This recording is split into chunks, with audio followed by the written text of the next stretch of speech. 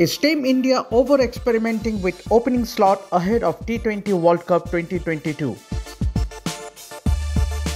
Under the reign of Rahul Dravid as head coach, the Indian team has tried out multiple combinations in the opening order. The latest being Surya Kumar Yadav being asked to open with captain Rohit Sharma in the first T20 international against West Indies at the Brian Lara Stadium on Friday, July 29.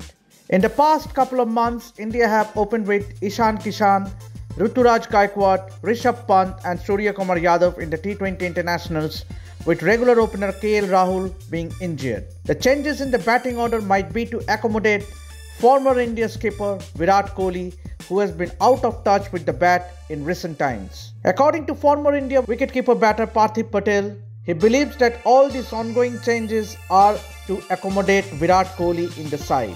The Indian team management does not want to head into the T20 World Cup without Kohli, irrespective of his form and that is why they have been trying different combinations to fit him into the Indian T20 squad. Do you agree with such experimentations with such an important slot like the opening order going into a big tournament like the T20 World Cup with just few months away? Please give your comment in the comment section below.